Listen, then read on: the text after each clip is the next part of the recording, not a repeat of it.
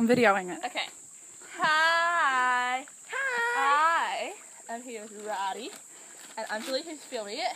And if you want to know what is on my foot right now, what's on my left foot is lots of duct tape and a two plastic bag because I broke my foot and I can't swim.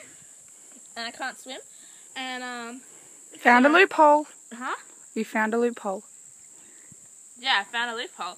So now I can swim with it. And also, one more thing, um, I'm getting it in two and a half weeks, which is exciting.